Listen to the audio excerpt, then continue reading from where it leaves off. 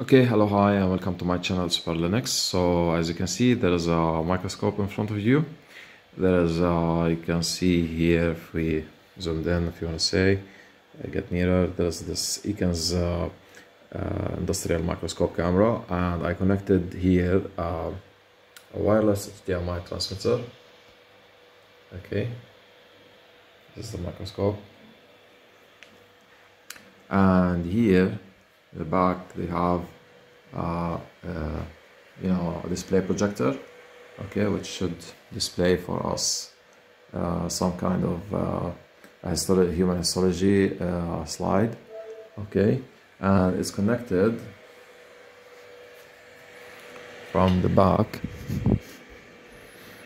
okay with a, a wireless receiver uh, for HDMI okay uh, USB is powering it as you can see here. Okay.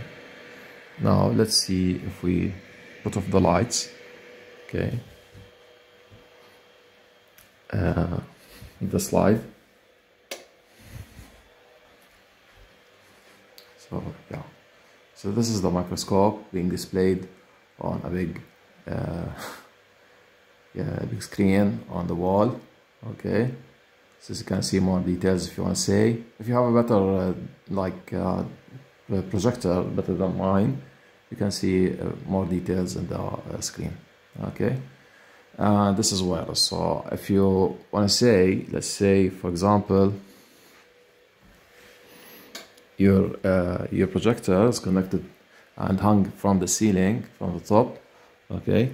And what else you want to uh, like make your microscope uh, mobile okay? Put it anywhere you want and maybe make it uh, put us somewhere next to your desk okay?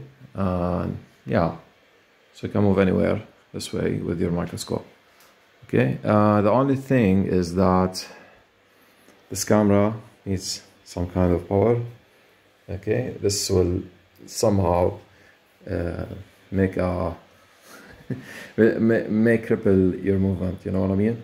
Okay. And that's it. Okay uh, thanks for watching guys. Uh, please subscribe and like our channels. This is another idea of uh, microscopy. Bye